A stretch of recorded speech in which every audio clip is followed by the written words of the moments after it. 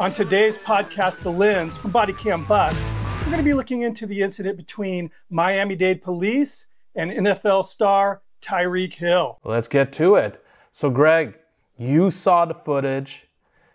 Give me your perspective on how it all played out. Yeah, there's a lot to unpack on this particular incident. And this really shows the importance of getting that body cam footage released to the public as soon as possible because when you're basing opinions just on a camera phone footage, you're not getting that complete story arc. You're literally just getting the middle and the end, but you're not showing what led up to a cop basically on top of Tyreek, face down, handcuffing him in the streets. Um, basically, when you watch, so thank you guys for getting all the, the other camera angles because it really helped me kind of form an opinion. Um, but the footage starts out with motor officers. Uh, they're stopped on the street. It's an area that's kind of barricaded with these big kind of barrel cone delineators. And I looked it up. They were, um, it was um, Northwest 109th Street, which is the, the surface street that feeds into Hard Rock Stadium, where the Miami Dolphins play. Tyreek Hill is a wide receiver with the Miami Dolphins. So they're on their motorcycles, and then all of a sudden you can tell. Now, I'm going to admit what I'm talking about now is my speculation, just based on my experience as a you know a former police officer of 30 years. Uh, but you can see the body cam footage kind of shift to where initially they were more focused um, on the side of the street that they were on. It's a east-west street, and their cameras were kind of pointing eastbound. Then all of a sudden they were more focused on the, the oncoming traffic in the westbound lanes. Then you could see the black McLaren going pretty fast, approaching um, where, where, the, you know, passing the officers. So then you could see, you know, the officer's camera. He was turning his motorcycle onto that uh, westbound lane and then trying to catch up with Tyreek. Um, the official release from the Miami Dade police officers, uh, police department is that uh, Tyreek was clocked in his McLaren at going 60 miles an hour. Uh, that stretch of the road, it's a 40 mile an hour um, roadway, so it's posted 40 miles an hour, 20 miles an hour faster than everybody else on the roadway, which that's pretty darn hazardous. I mean, that's that's reckless in my opinion. Now, one thing I want to point out, and again, this is where I get into some more speculation, is you see the officers again just based on their their camera their attention focuses uh, one 199 northwest 199 is runs east and west. They were facing westbound but they were kind of shifted over to where their cameras were looking down the eastbound lanes. All of a sudden they you could see that they actually focused more on that oncoming traffic. This tells me that uh, an officer probably down the road down 199 radioed him in, hey, I, I had a McLaren just pass me up traveling at a very high rate of speed. Now, the motor officers, they're uh, listening through, you know, the helmet. So we're not going to hear anything like that from the body cam microphone. So, but that's what I think has happened. So now you can see the motorcyclist, he's, you know, trying to catch up with, uh, with Tyreek. So I'm sure they're thinking, you know, that's putting them in harm's way, just forcing them to ride like that to catch up. Tyreek pulls over, and I use Google Maps to kind of actually the street view to navigate. I located where the officers were, and I located where they made the stop. And it was about a little less than a quarter of a mile from where the officers were, from where Tyreek pulled over. Um, the officer initially said, pull forward, you know, because I'm guessing he didn't like where Tyreek stopped. It was, you know, and that's what officers will do. If they feel like the stop is being conducted in a kind of a dangerous area, they'll request that the motorist move to a safer area. So he says, pull forward. So Tyreek pulls forward and he pulls over on the side of the curb. Um, and I looked, again, I was using Google Maps. It was like the 2300 block of 199th Street. Um, windows up. It's a limo tint. You can't see the person behind the wheel. You can't see what they're doing. And that right away is going to put the hackles on the back of that cop's neck standing at attention because vehicle stops are extremely dangerous because of the unknown. Um, an officer doesn't know who's driving that car, what their intentions are, what they may have done that led to their erratic driving. I mean, they may have just robbed a bank. I mean, there's all sorts of questions that the cop has running through their head. So they want to be put at ease. The best thing Tyreek should have done was just had that window rolled down, his hands on the steering wheel so the cop can see his hands, and just cooperated with him. Um, in in the United States, driving is not a right; it's a privilege. And when you sign your signature on that driver's license, one of the things you're promising to do is obey the rules. And the officer is going to ask you for your driver's license, your registration, your proof of insurance.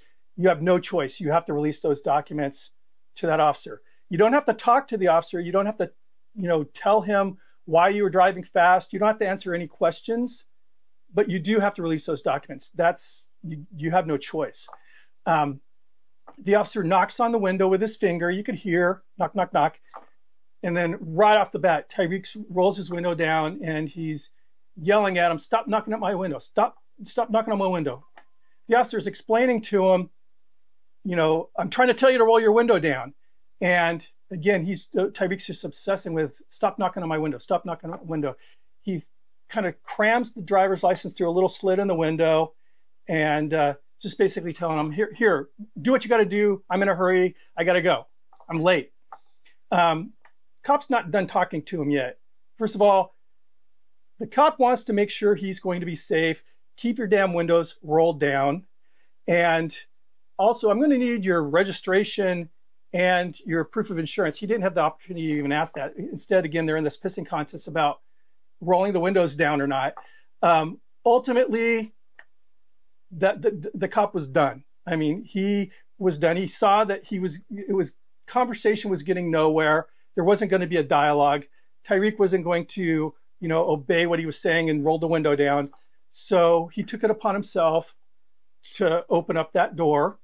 And um, so let me tell you, there, there's probably two things going on in the police officer's mind as they were pulling that car over. They had two options.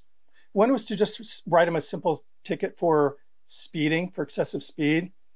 Um, again, I truly believe, and I'll tell you why in a minute, uh, that the speed started way beyond, way before the police officer saw him. And I know for a fact, I mean, think about anybody watching this video, including myself.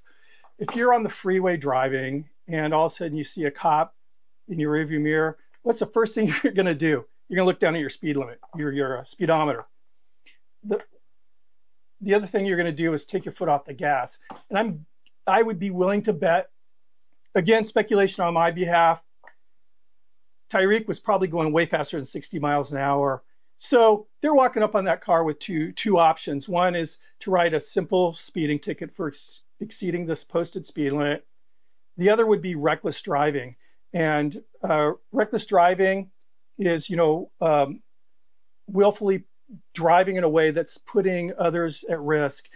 And I would say driving that fast on that street with, with the amount of traffic that was rolling around. And I'm sure, you know, in order to maintain those speeds, he was changing lanes like crazy. Um, that is very reckless, in my opinion. And again, that was one of their options. In most jurisdictions, uh, reckless driving, you can write a, there's two types, there's misdemeanor and felony.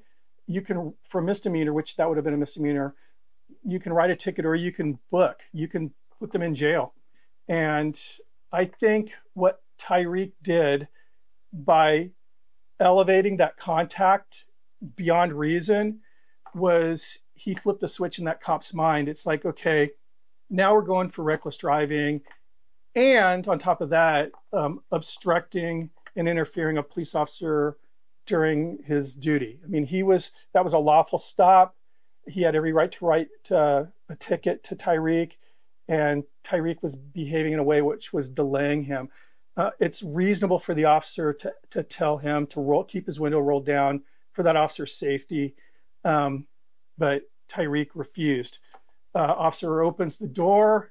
then he extracts Tyreek out of the car. Um, we can debate on whether that was reasonable or not. Um, one option probably could have been once the door was opened, you know, explain to him, look, I'm concerned about my safety. I want to see you while I'm conducting business. We're going to leave this door open. But I think again, that officer, he was just done. There was no more talking. Pulls him out of the car.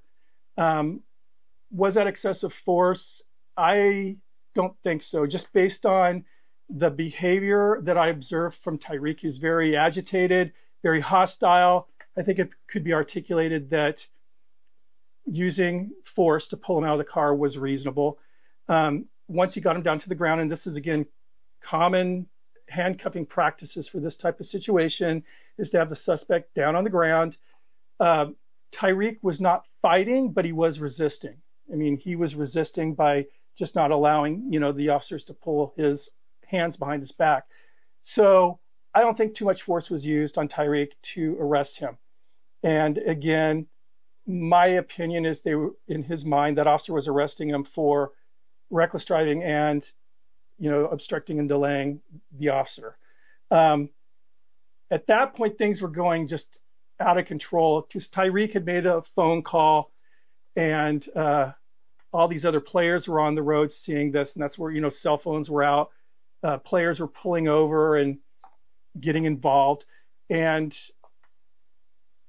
you don't do that. Uh, you know, if you're concerned, first of all, they're blocking the roadways with their big old you know SUVs. Um, the cops are going to take care of their business first, and they're not going to talk to you. It's just the way it works, and they're just creating more chaos there in the uh, with the program. So we questions you see in the comments. They pulled him over because he was black. No, they didn't.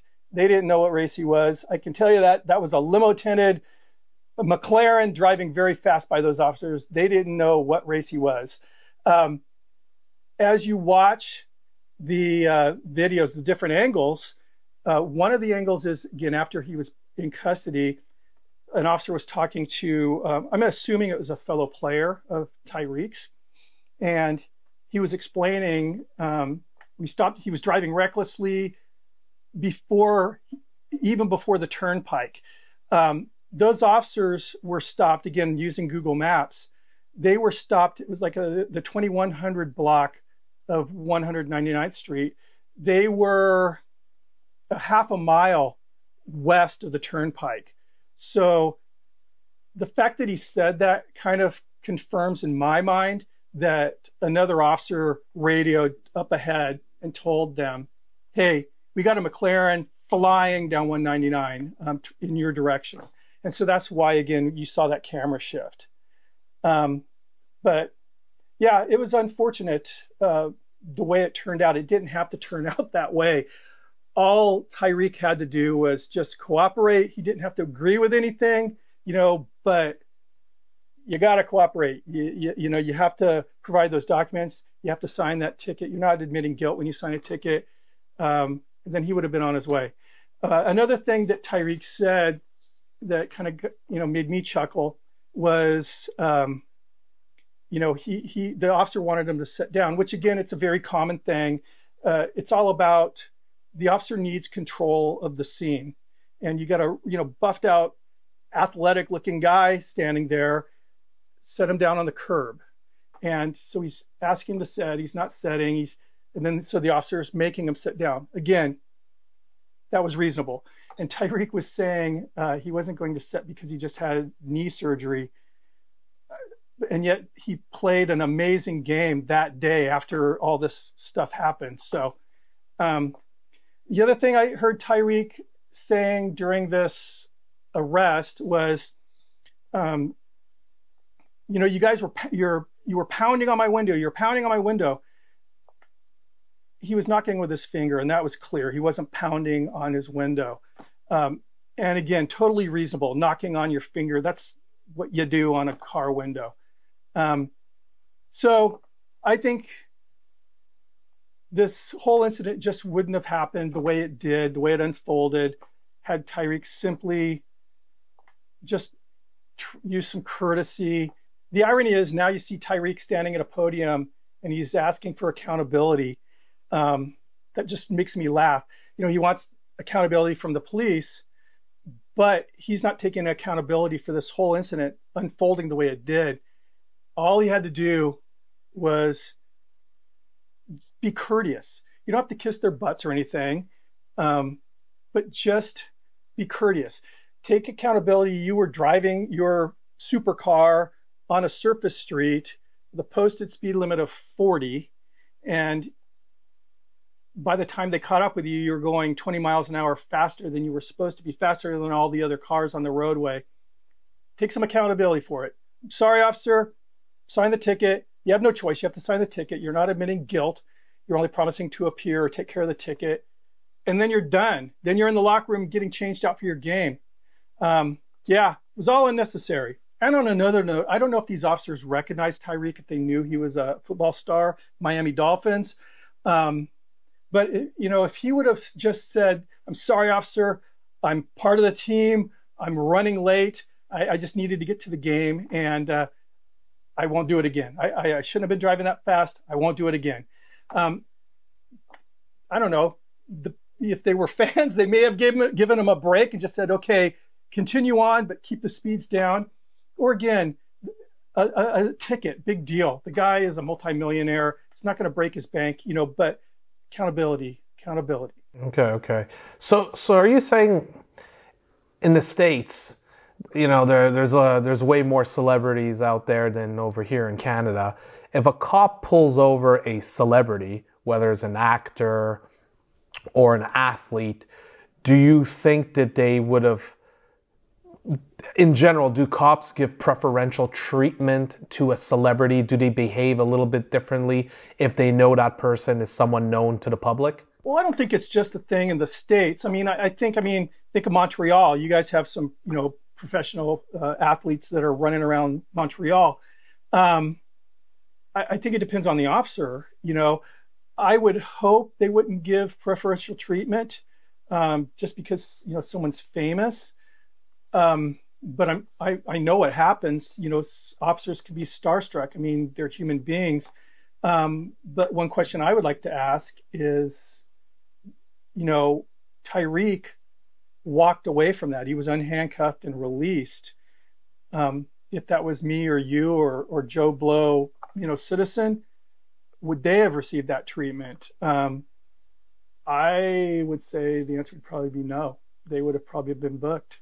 So I think, you know, um, being famous definitely brings privilege. And, and, you know, we could look at the footage together right now, but there seems to be a point in the video where, or in the arrest, I should say, where one of the officers says, I could actually take you out of the car if I want to. And then he goes, as a matter of fact, get out of the car. It, it, it is my let's have a look together right now, real quick here.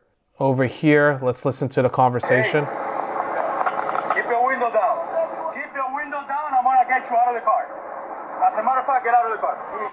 So right there, at that instance where he says, "Keep your window down. I'm gonna get you out of the car." He, he says, "Get your window down. I want to get you out of the car." That, that's what it sounds like. And then he proceeds by saying, as a matter of fact, get out of the car. As a matter of fact, get out of the car. So, as someone who's not in law enforcement, it kind of seems like the cop is like slowly getting more and more angry with, with this uh, with Tyreek. You know? Oh, absolutely. You could see the tensions rising in that officer. Um, but again, we, we had this pissing contest going on between the two. The officer's asking which again I say is a reasonable request. Keep your window rolled down. Tyreek's refusing. He's just being very uncooperative. Um, the officer, when he said, "Roll your window down, or I'm going to open your door and you know pull you out," I think at that time a little a little light bulb clicked in his head, and he's like, "You know what? I'm done. This guy's under arrest now," and that's why we saw that unfold. Is it normal to have police officers pulling uh, cars over like let's go motor motorcycle officers pulling over drivers and cars? That is a very common question when people see multiple officers handling one incident, especially if it's something like a traffic stop. So, first of all, I'm willing to bet that all those officers were there working um, the game. They were there to work the game. They were probably there on overtime. And they were all clustered together there on that roadway, you know, when Tyreek flew by them in the McLaren. So they're all going to pull out together. And I think there were, well, I want to say there was like three officers there on motorcycles uh, on 199 there. On a vehicle stop, two officers are perfect because you have the contact officer who's going to approach the driver and take care of business, you know, writing the citation, everything. Then you have the second officer as a cover officer, and they're usually going to post up on the passenger side of the car uh, so they can see in and just keep an eye on the occupants of the vehicle to make sure they're not posing a threat to to the officers. That's very very common, and the fact that there were more than two there, it was just because there was more than two officers, you know, at the scene there. And then also once it turned into more of a physical encounter, I'm sure someone probably put it out on the air and maybe even requested a supervisor on the scene. So that's why you're seeing more officers. Uh, with all those citizens, you know, the I, again, I think they're probably all players getting involved. You need those other officers just to keep things contained as well, you know, to keep control of the business they're taking care of at that moment. So again, that was a very chaotic scene. So just imagine if I were to be speeding on a highway and a cop were to pull me over for the exact same situation, what would be the right way for me to behave and deal with a cop to not make sure things don't escalate? Well, as I already kind of mentioned earlier, um, the best thing to do is just realize that the officer is going to be approaching you. He doesn't know who you are. He doesn't know if there are any weapons in the car. He knows nothing about you. You know everything about you. You know there's a cop out there approaching your car. He's the, you have a lot more information about him than he has about you or, or her. The best thing to do is make sure your windows are rolled down. I mean, when you're when you're getting when you see that you're being pulled over, as you're pulling over, just get your windows rolled down. That right away will put the officers at ease. And then just have your hand, I always tell people, just get your hands on the steering wheel. And so right off the bat, that officer is going to know, okay, this person knows that I'm concerned for my safety and they're putting me at, at ease. So that's going to give you a little bit of favor with that officer. Then once the officer asks you, you, you know, do you have your driver? I need your driver's license. I always suggest just look at the officer and tell them, it's in my wallet in my back pocket. Is it okay if I reach for it? You know, you, you're you're again letting them know you're aware of their concerns, and and that's going to again bring them down another notch. And then just be polite. A lot of times, politeness will get you out of a ticket. Don't argue, because the place to argue is in a court, not on the streets. The uh, the officer already made up their mind to pull you over. In their mind, they have a reason to pull you over, and they're going to take some kind of action. The action could be a, a written warning, a verbal warning, or a citation. And a lot of times I tell people the motorist decides on what's going to happen to them. A little courtesy goes a long way. So that's my advice. Again, and if you feel that that there's really, you know, this officer's in the wrong, then you can always request that a supervisor rolls and then talk to that that uh, officer supervisor. But doing what Tyreek did was a textbook example of what not to do. You could see what happened. Now, one thing I always wonder is how can a cop pull you over for speeding if they don't clock you with a radar gun? Well, there are three ways that an officer can pull you over without uh, hitting you with a a radar or lidar. It's actually a laser thing now. Um, pacing you, you know, the officer will drive up at the same speed, you know, keeping the same pace as you, so they're not gaining on you, they're not dropping back, and they're looking at their speedometer.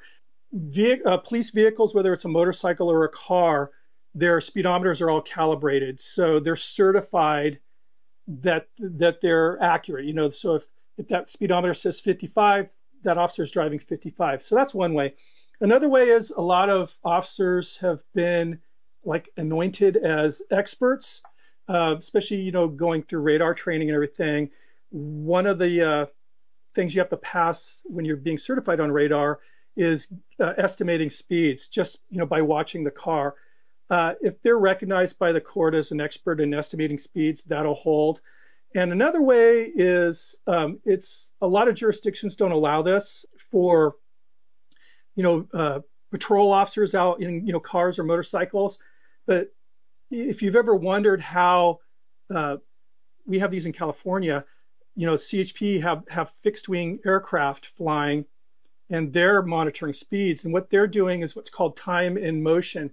So you'll have like a, big X painted on the roadway then like say a couple miles down another X, they know that it takes X amount of time to go from point A to point B. So if driving the speed limit should only take you, or should say take you 30 seconds, I'm just pulling an arbitrary number out, 30 seconds to get from point A to point B, and they're clocking you at 20 seconds, then they're just going to do the math and they're they'll know how fast you were going. So time and motion. You don't. That's not a real common thing, and very rarely will you see uh, a police officer on the ground using time and motion. But that's how they do it. Okay, Greg. So I guess we'll just have to keep an eye on this case, and we'll see how things develop. And I'm sure you'll give us some more insights in the future podcast. Oh, for sure. It's going to be interesting to see how this plays out. Okay. See you next week.